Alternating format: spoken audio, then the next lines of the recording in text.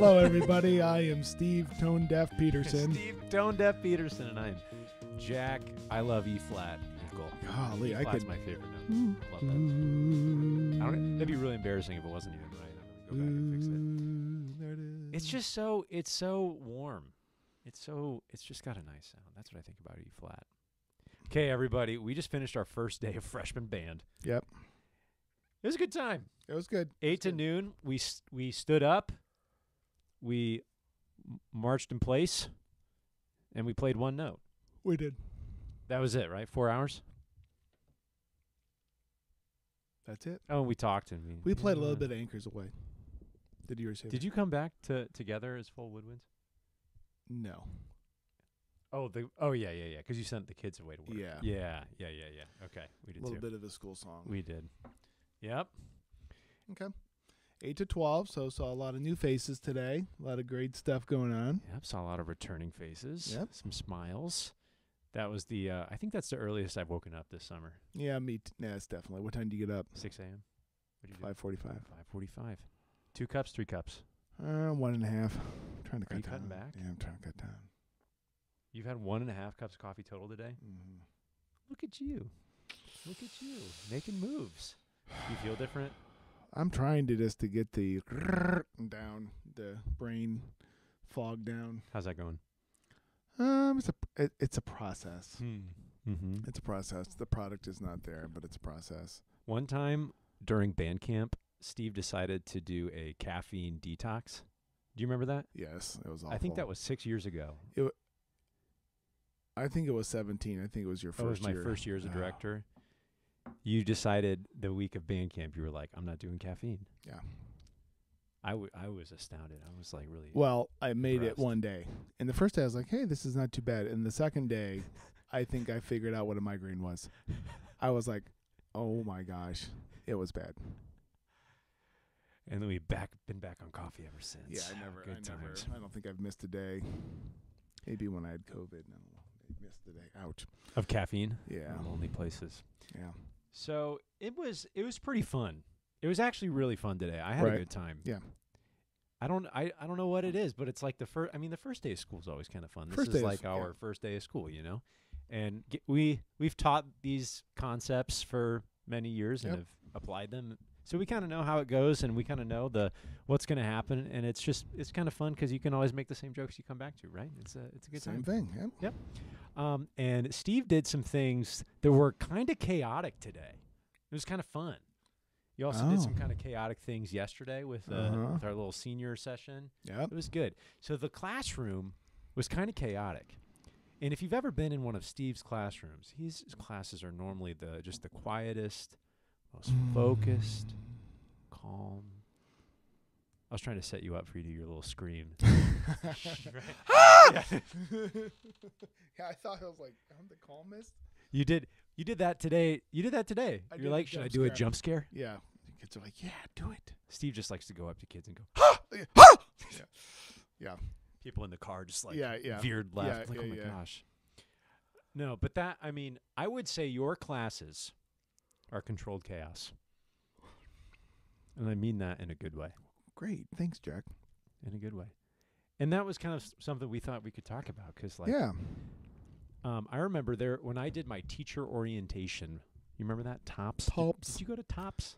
Yeah, I did. Orientation. Well, program? they don't think they call it tops then, but I remember I had uh, one of the guys that was working with us said that like learning is loud. That was his phrase. Oh, and, and he said, you know, the schools have kind of adapted with the working environment and working environment back, you know, in the maybe 60s, 70s. I can't, I, don't, I can't really speak to it because I wasn't alive, but it was a lot of like, do this paperwork, turn this paper in, you do this on your own, then you go do this task also on your own. And there was not like a ton of collaborating.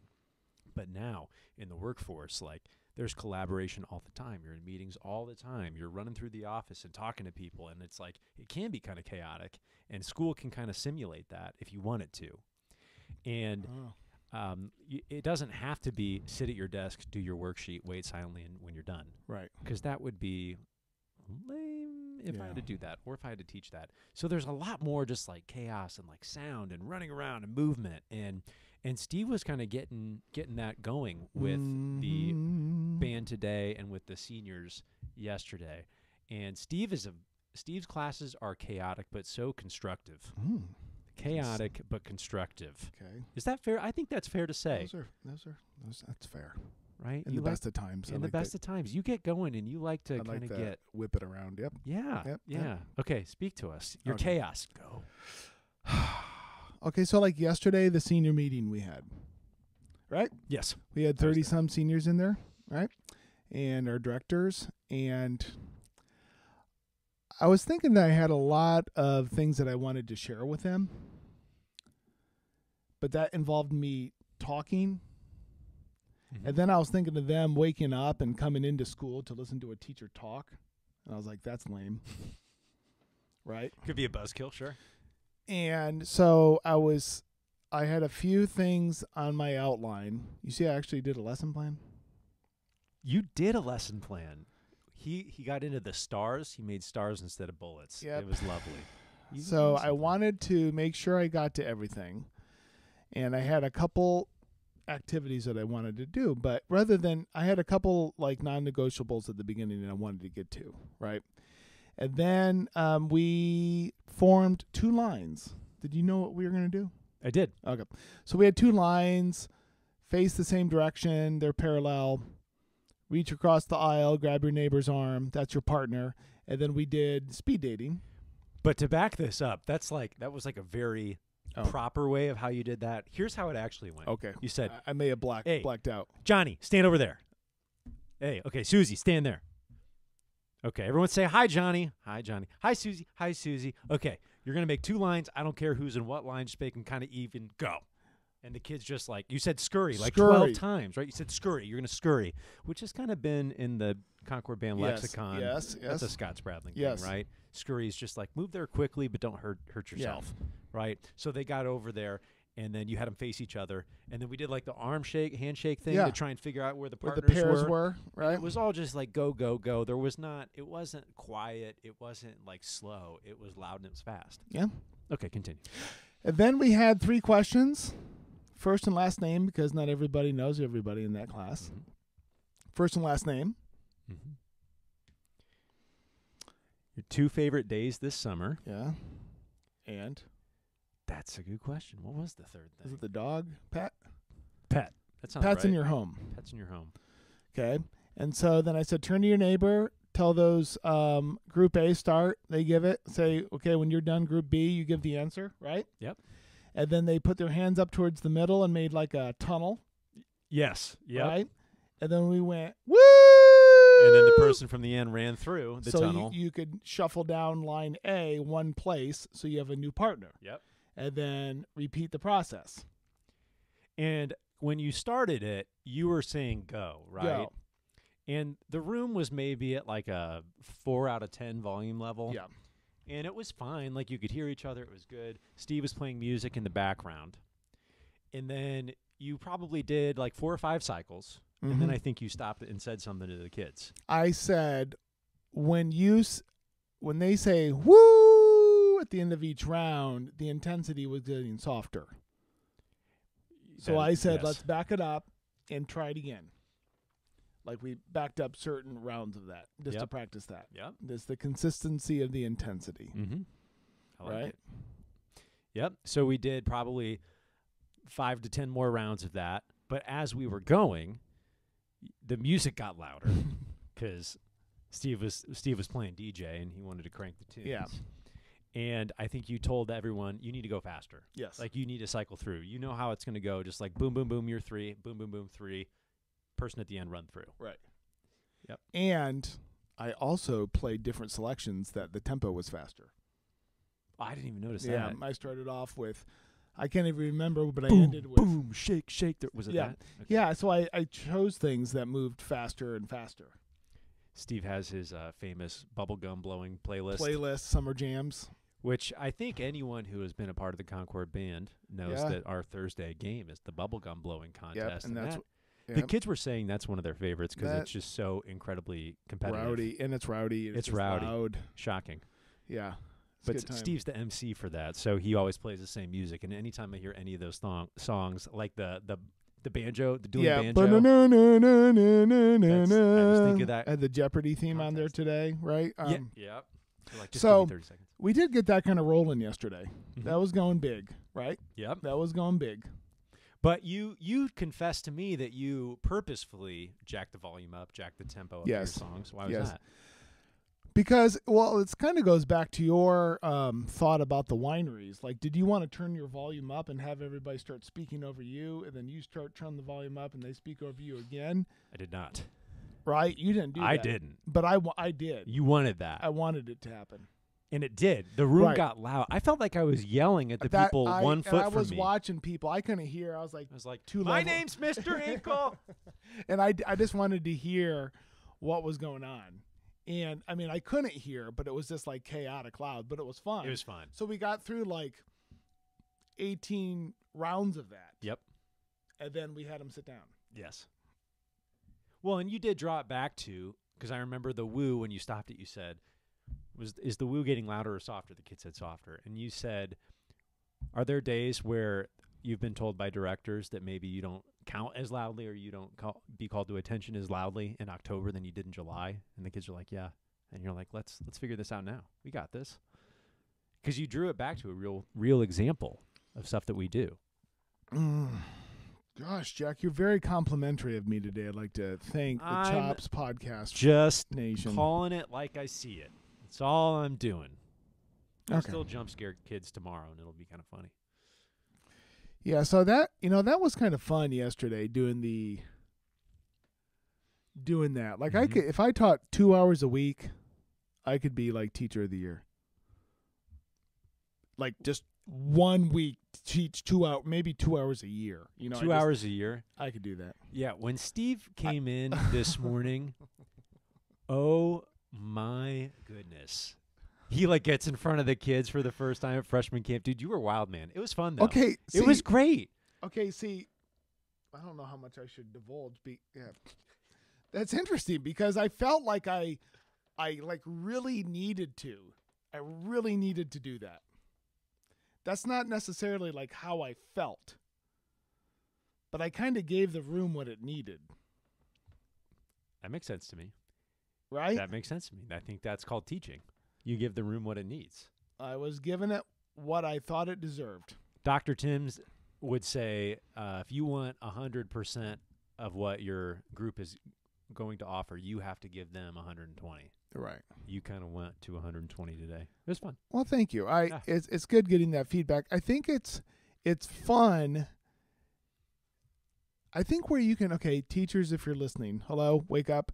If you're listening teachers, I think you can have the chaos as long as you set the the the objects, the objectives of what we're doing. Right? Go on. I'm with you. So we, you know, simply set up two lines where students could converse, and we added to the chaos as adults by pumping in faster, louder music and putting in some vocals like woo, and that really boosted it up. But it was okay that it was loud and crazy because what that group was doing, where the senior class was getting together, and it was trying to create a sense of camaraderie and purposefulness and mission. So they were all in doing it together. And it was a nice switch from the summer. Right. Yeah, that could have been the first time some of I didn't want them. moved. Well, I already mentioned that, but yesterday we had the remnants of that crazy hurricane. We had a tropical storm up here, but I didn't want the students. I already said this 20 minutes ago, but I didn't want them to come in and be like, "Hello, I'm Mr. Peterson. Let's talk about being a leader." I wanted to demonstrate how I wanted band to go. okay, kids, here we go. No, you did the you did that cheer with them, and I'm sure you planned out every little second of that choreography to make that cheer well Okay, in okay, advance. You've had that in your pocket for years. Have you heard me do it before? You've actually done that before. I learned that. That's a real thing. I learned that like 30 years ago. I thought you made that up on the spot.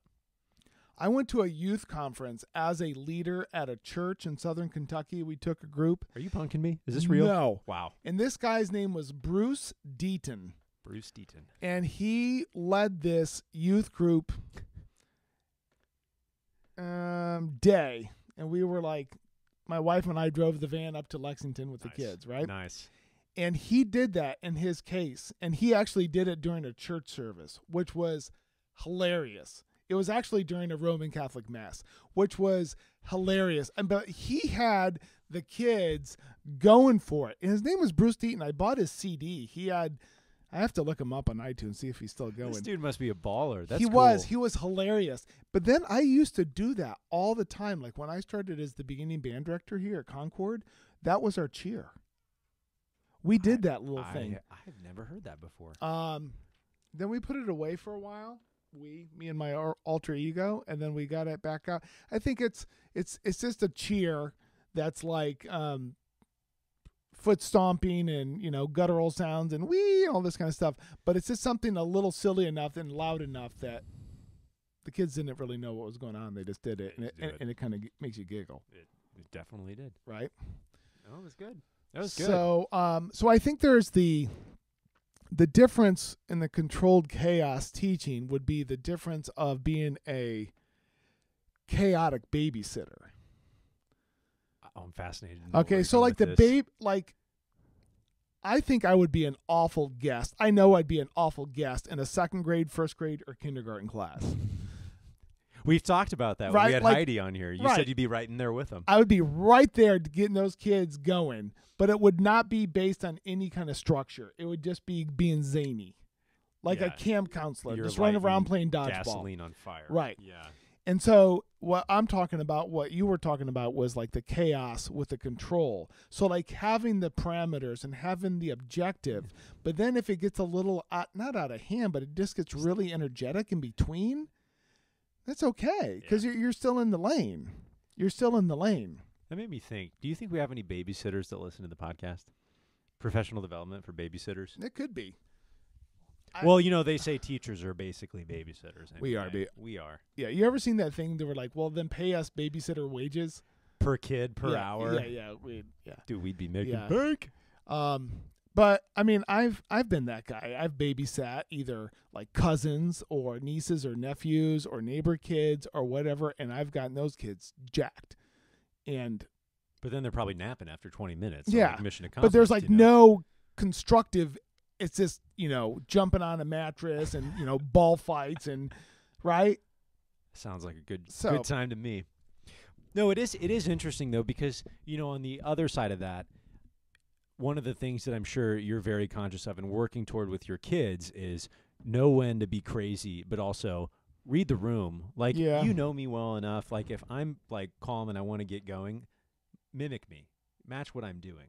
And you Mhm. did some time with that today. Like your your cry to the kids, your battle cry to the kids today is, I am not going to tell you to stop talking yep.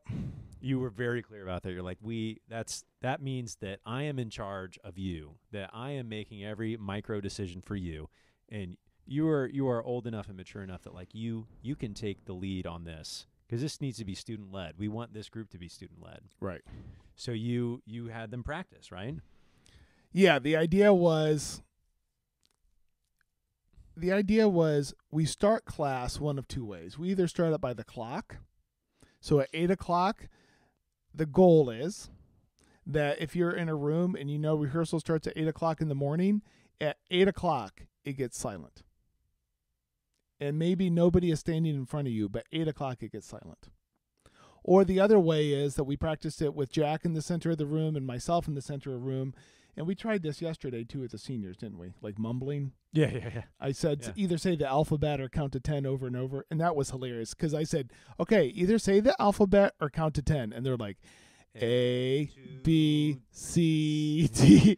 And uh-huh. I was like, no, just like mumble like A, B, C, D, F, G. Right? Yeah. So create some. But the idea was like I went off stage and then I came back on stage. And then the idea was it was supposed to settle in. They, the, they had a visual cue. So it was either a chronological cue by looking at their watch or a visual cue cue from a teacher or student leader coming up there. So I said, you know, we did an exercise like putting one hand over the eye. Oh yeah.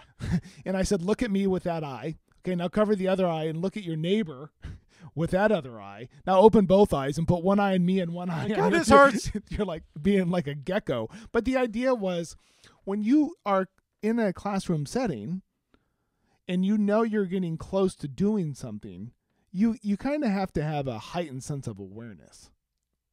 It's true. You have to know where the teacher is or what the time is and r- understand that you're not there just to kind of cut up with your friends. You're kind you're there to um do an activity. So we're looking for a way to start it that is more automated. And I think I did outlaw today. Shh. And I said, so and you cannot say, that. please stop talking. You cannot say that. Because the idea is if if someone says that for you, who's really controlling it? They are. And then you're just like acting like you're not engaged and you don't stop until somebody says, knock it off. And the irony is, it just the more you say shush or stop Shh, talking, the louder it, it, gets. The louder it gets. Right. And then there's like some kind of like negative energy in the room.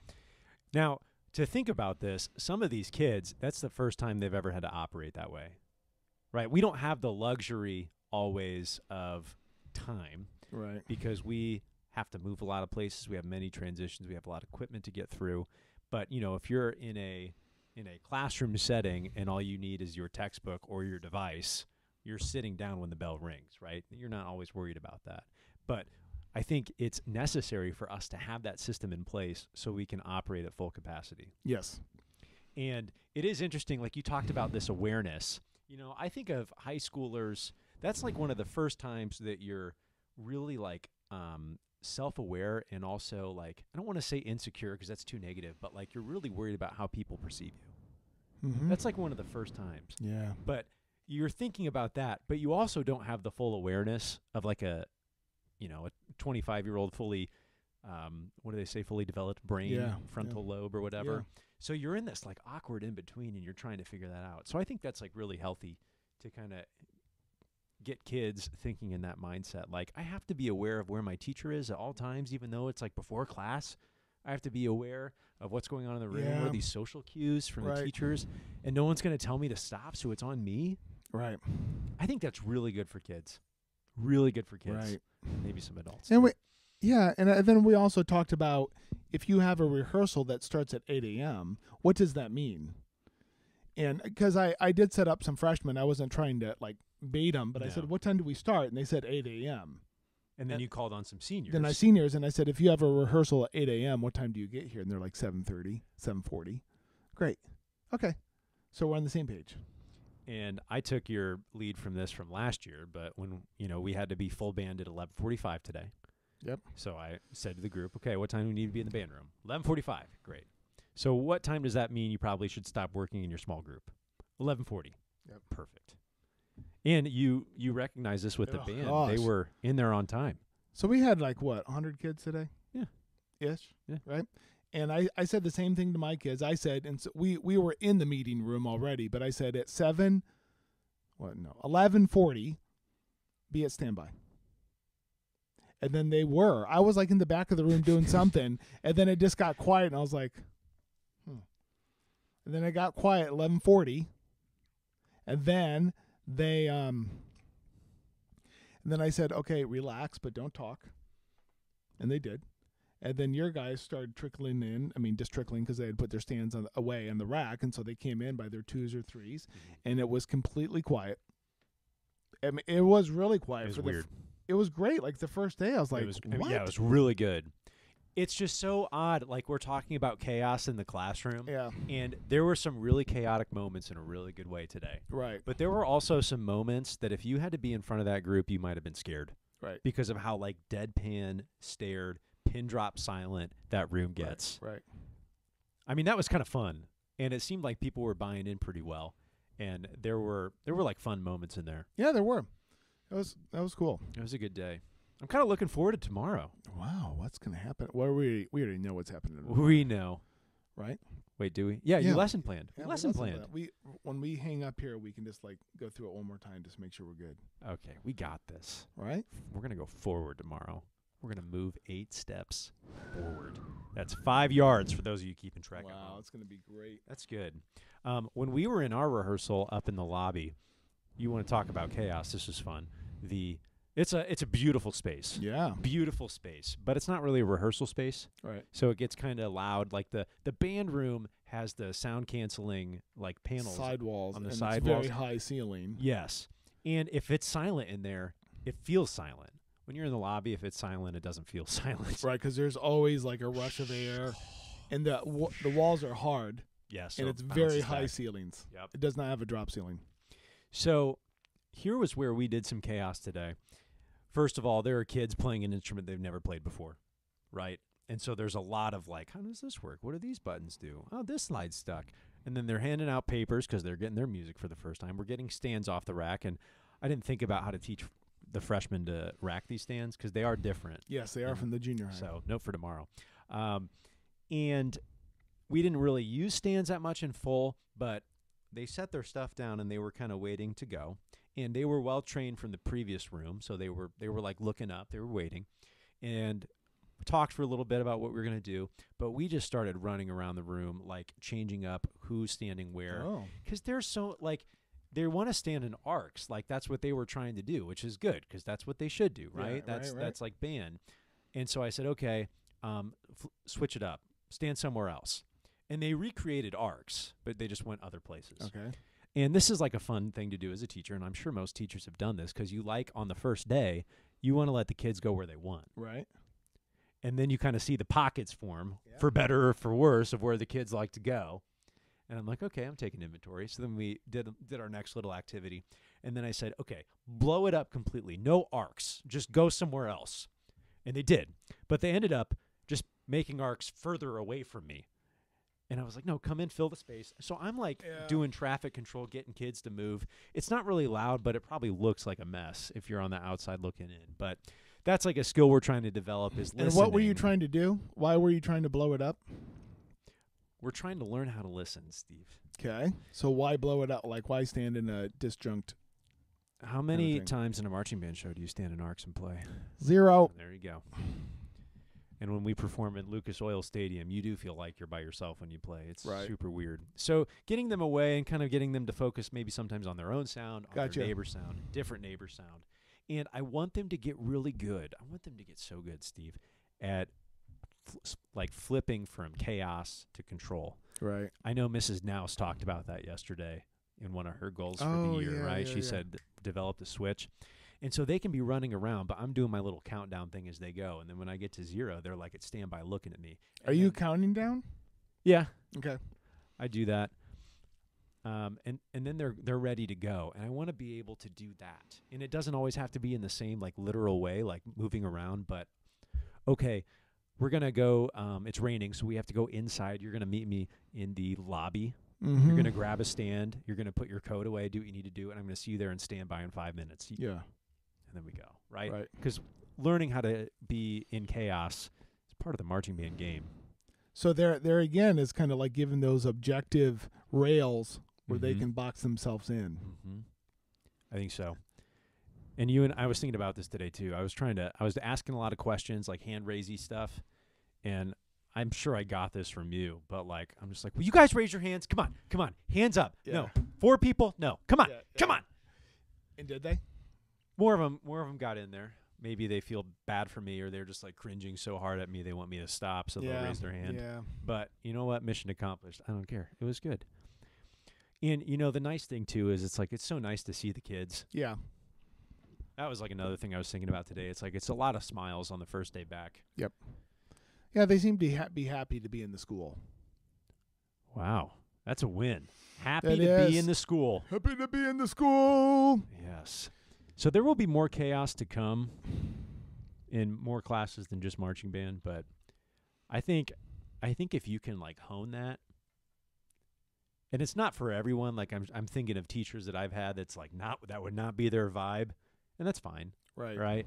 But if that's you, like you kind of like to get a little more I don't know, unhinged, Yep. just like excited, energetic. It's like a really fun thing for school. And I think a really healthy thing for kids. Whereas, as you like to say, they just get to bot out for eight hours a day. Go to this classroom, bell rings, open iPad, work. Close iPad, bell rings. Go to next classroom, open iPad, bell rings, work. Right. And, mm, yeah. You got to think about it like, um, you know the the ratio. I don't know what the golden ratio is for like one to one point six one eight to what to one.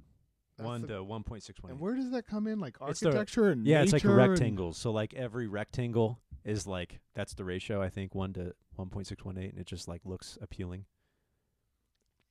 You see that picture with the bass clef, and then it just like keeps turning in on itself, right?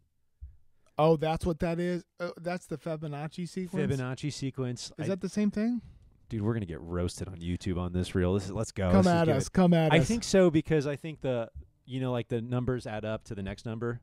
Isn't it like the deeper you get into Fibonacci, it's closer to that ratio? yes yes I am a music teacher. That's good. Okay, well, where's I going?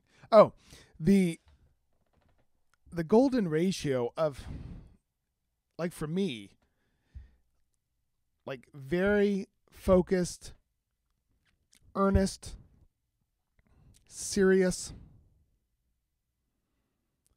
linear.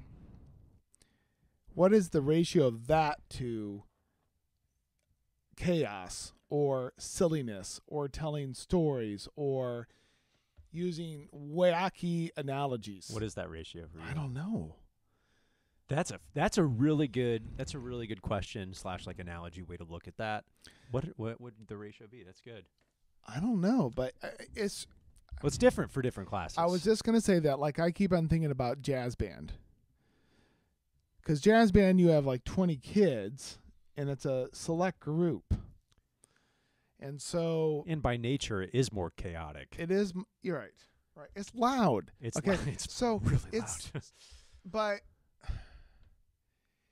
also the maturity level is similar. So when you say you can blow the top off this thing or get create it, it's kind of like burbles together, right? It's more yeah. in tune with each other. But if you have a marching band and you have like 13 year olds and 18 year olds and you say be a little bit more crazy on this, like you can get a real diversity and you could just get some kids where their excitement takes them away from the objective, not towards it Have you seen that before? all the time. All the time. Yep. Yeah, that's true. That's true. So it, it's almost like you you can still do the chaos, but your guardrails have to be really clear, Yes. right? Because you probably don't need like if you're teaching jazz one, juniors and seniors, some of whom you've had for two, three, four Right. years, they kind of know the guardrails Yes. anyway. That's true. That's a good way to say it. I was thinking about that too today because I think you and I, when we were teaching, we were both like very clear on what the expectations are Mm-hmm. and why we do certain things. Like we taught them standby today, which is standing still and looking straight ahead. It's really fun. Right. But you and I w- had both said to the group, I know this seems like odd, but here's why we do this and why it's important. Mm-hmm.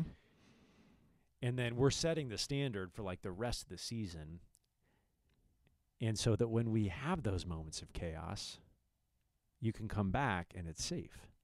Which we were kind of dabbling with that today. I may have gone a little too far sideways while i was going to i i don't know. On what part? the standby power triangle stuff. I felt like i was making a lot of jokes maybe too many I, okay, sorry, I was out of the room at that time. no you were back because you were well you were riffing with me at some point. Oh, because you were talking about the chicken wings. oh or something like that. Yeah, yeah. Yeah, but I, I never felt like they got too far away from me. right, So that and that's like as a teacher too, you're kind of testing right. the waters as well. But yeah, learning to find that balance and walk that line can be it can be powerful. I'm gonna think about that ratio thing. That's good. I almost think it's like one to one.